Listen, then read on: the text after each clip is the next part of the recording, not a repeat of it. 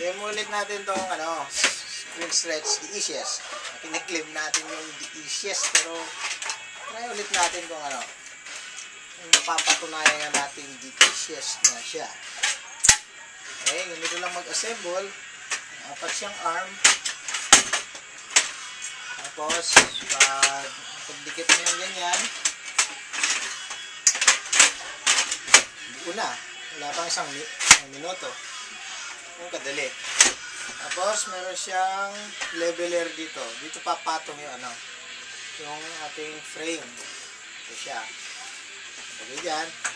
Kung titingnan natin, mas pahaba ito, dalawa. Saka ito naman, parang tornilyo lang.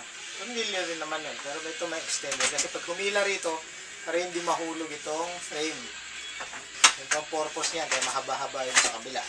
Tapos, may dalawa siyang pusher. Ito, isa rito, saka isa rin dito. Hindi sana kung may magnet, no? Para hindi siya mahuhulog. Pero pag ginipit na kasi nung, nung ano, nung pusher yung ano, pusher bar tawag natin. Inipit na niyang ganyan yung ano, yung frame. Hindi na yan mahuhulog. Okay? Parang if if-fit lang natin para maayos siya. Yan. Ang 90 degrees, 90 degrees, ayos na yan. Okay?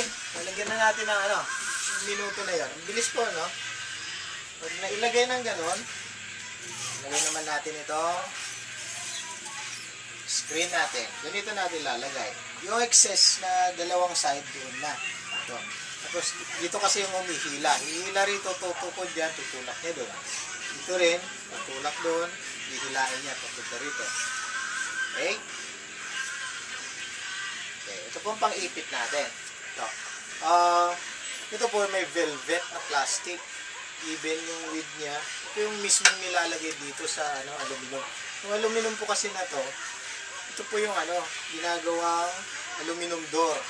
Yung sa mga bahay ngayon, mga buildings, ganyan, aluminum door. Tapos meron siyang velvet. Gamit ito sa protection para hindi siya magasgas pag nagbukas, nagsara yung pinto.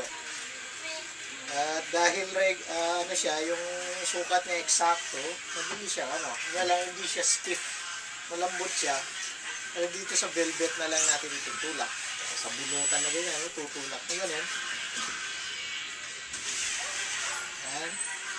Yan sa umabot doon. Okay? Tapos, lalampas ng konti, ganyan. Corner kasi nito, para hindi siya mapunit mamaya pag nagha- nagbata. Parang loose lang siya rito sa parte rito.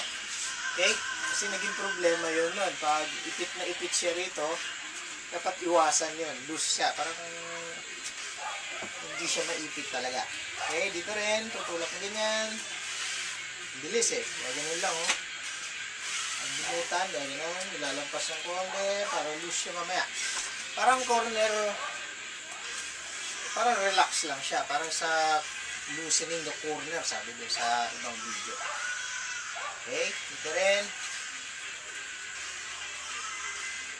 Ayan. Tulak ng ganyan. Sanayan lang kasi paggamit nito. Ayan. malambot yung material. Pero sakto siya sa fit niya. Maganda siya.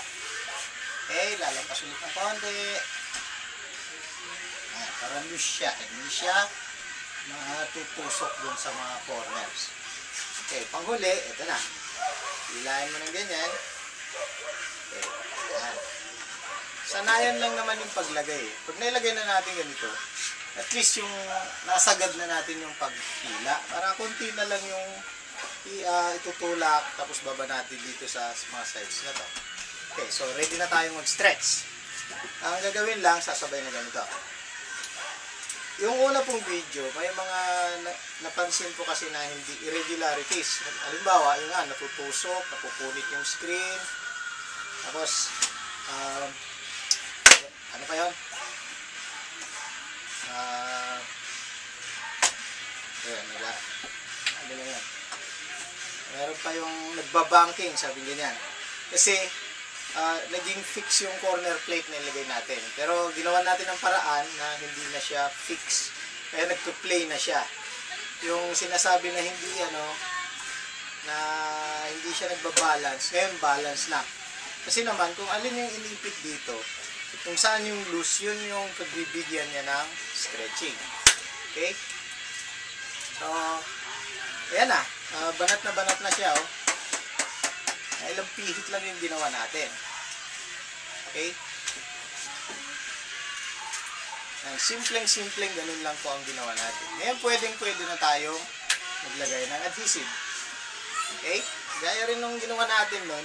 Okay, bukas na. Okay? So, gaya nung ginawa natin, nalagay lang yung adhesive na ano. Ganda ilipat sa maliliit na bote para pan mas magaan yung ano kaysa naman yung galing dun sa malaking halata kasi mahirap ilipat-lipat yun. So, ganito. Okay? Within 10 minutes, matatapos na natin i-apply yung adhesive. Tapos, aantayin na lang natin na matuyo. At tapos na yung pag-stretch. Paglalagay natin sa ating frame. Ganun po kadali. Itong sistema natin. So, tapusin ko lang po. Okay? Tapos din yung tugtog. Paradise City daw, nasa mga 8 minutes yun. No? Range tayo ng 10 minutes hanggang sa matapos natin. Okay?